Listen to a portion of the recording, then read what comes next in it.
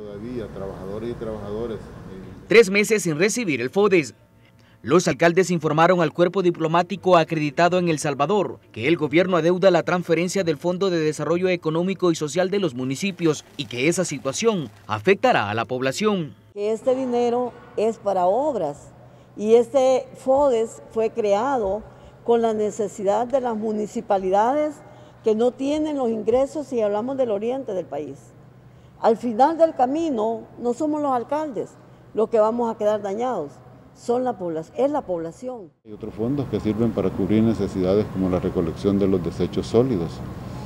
Entonces, yo creo de que el camino en que llevamos vamos a llegar a un momento en que las municipalidades vamos a colapsar definitivamente.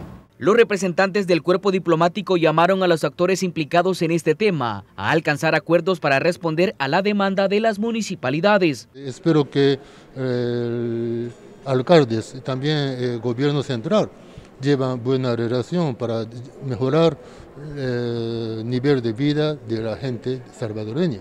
El Ministerio de Hacienda ha explicado que el impago del FODE se debe a la baja recaudación fiscal provocada por la pandemia COVID-19.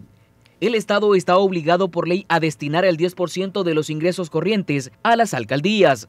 Edgar Jurado, Mega Noticia 19.